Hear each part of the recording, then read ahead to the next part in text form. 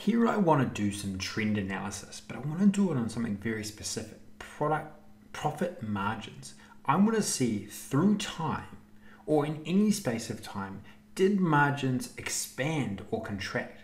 This is really relevant uh, if you were wanting to look over the last, say, two to three months at a particular set of products and you wanted to say, well, are we selling our products appropriately? Are we, are we expanding our margins as, as expected? Or has demand dropped off or competition is high and our margins are actually contracting. So here's a here's a technique that you can use to actually uh, to actually discover that uh, and visualize it in Power BI. So first of all, we have, have to actually get to profit margins, the profit margins calculation. So in the current data model, we have just sales transactions, and we're going to start with total sales, but then we want to also get total profits. So to get to total profits, I'm just going to quickly draw that up for us. I'm going to go total sales and then I'm going to minus, in this case, uh, total costs. And I'm just going to go sum x and then quantity times uh, total unit costs. Okay, great. Now we have total profits, but now we actually we want to get total profit margin. So I'm just going to add another measure and I'm going to go profits, profit margins here. And we have all everything we need to make this happen. So I'm going to go divide total profits by total sales and then enter. And now we've got our profit margins. Let's just make sure that this is formatted correctly. So I'll just put a one to one decimal point. And to prove that this is right, and because we're going to actually look over this uh, on a quarterly basis, so I'm just going to grab my quarter and year, and then I'm going to drag my profit margins inside that. Okay, so we've got our profit margins here. The one thing to note is that we want to actually uh, look at a condensed time frame. I'm just going to get rid of the first three quarters here. Okay, so We've got our profit margins here, but now we want to we want to see that profit margin growth, and we want to actually see it per product. So first of all, we have to work out what the logic is, and then we can pass that into the correct context to get the answer that we want.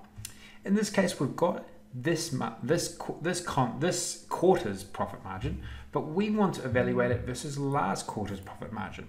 So I'm going to create a new measure, and I'm going to go uh, profit margin. uh, profits growth, I'm going to call it. And I'm going to go profit margins. And then I'm going to go minus calculate profit margins. So what I'm going to do is I'm going to grab the profit margins using date add from the quarter before. So I'm going to go date add, and then I'm going to then just put a new date, and then minus one, and then my interval is quarter. So it's going back minus, uh, one quarter. And what this is going to do is it's going to show us the growth or the change rather. Uh, uh, in this case, the same thing. So I'm just going to make, make sure this is a decimal point. And if I drag the profit growth in here inside the table, you'll now see that we are reflecting just the growth, whether it's expanding or contracting. So a minus is obviously contracting and a positive expanding.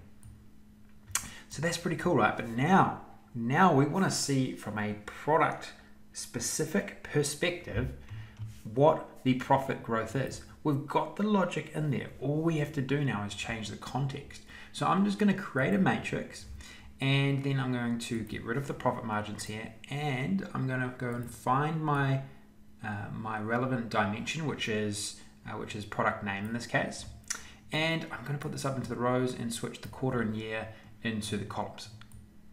So check it out. Now we have the profit margin growth or expansion or contraction on each of these quarters. So now we can actually identify trends. Was was, were they expanding or contracting? And so I'm going to go conditional formatting and I'm going to, you may have seen another video very similar to this, um, but this is just such a great technique. We're going to do it again. And I'm just going to conditionally format these these cells basically in this table and we can see now all the trends if there's some uh, expansion or contraction. So that in itself is pretty good insight. And certainly if you overlaid this on some real world uh, information, not some some in this case it's quite randomized, so we're not identifying trends as much as we can. But if there was a reduction in demand and uh, or there was inc- increased competition, you would see a lot of reds in a particular row, and that would be cause for concern, something to discuss and and and try and take action on. But in this case, what I want to do is I actually want to see well uh, within any quarter why did it? Why, what, or within uh, any time, any of these time frames, and we will we'll narrow it down to just the, the last three in this case. But why why did it expand or contract? Let's go and look at. Uh, let's try and drill into why it, it actually happened. So the first thing I'm going to do is I'm going to I'm just going to copy and paste this table, and I'm going to get uh, I'm going to get rid of in this case the quarter and year. No, actually, I want the quarter and year here. I'm going to get get rid of the product name and then I'm going to turn this into a visualization. And now we can see just from a quarterly basis well what actually happened to the portfolio in its entirety. But then what I also want to do is I want to look at the products and see well what actually happened to each different product. So we can quickly see well, what was contributing to the, the growth in margins or detracting from it. So I'm just going to change the color here and then the last thing I want to do, well, I want to see what were the actual individual transactions because that's the level that we can go to. We can start at the summary layer, try and discover, well, is there a trend? But then we can actually look at the underlying data and see well, what specific things, what specific customers uh, have caused it, or what specific sales to in specific regions have caused it. So we can really, really um, drill into that information. So what I'm going to do is I'm going to create a table with uh, some information from a range of our tables in our model. And I can put our sales and profits in here.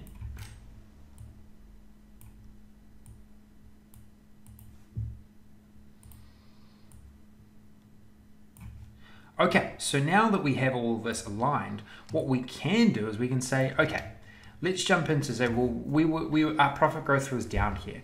So in, in, in Q3, so I'm going to select that and the first thing I'm going to do is I'm going to uh, filter that properly. So, so our profits in our profit growth uh, or our profit margins contracted by almost one percent. Now, if we look through this table here, I can see well, it was for a range of different reasons. Product 14, product 5. So then I can look at product 14. I can come find product 14 and product 5 here. And if I select on product 14, we probably actually want to put the date in here as well. I can then look at every single individual transaction for product 14 and I can look at them on whatever date. I can see who, uh, which region they sold to and so on and so forth. These are the sort of amazing insights that we can get now with Power BI and, and this is just one uh, example of you know, a really um, interesting and uh, compelling way that you can actually discover uh, these insights which can you know, generate a lot of value, especially to discussions within organizations. Okay, good luck with this. Any questions, um, just feel free to put them in the chat below and, and I'll get back to them uh, as soon as I can. Thank you.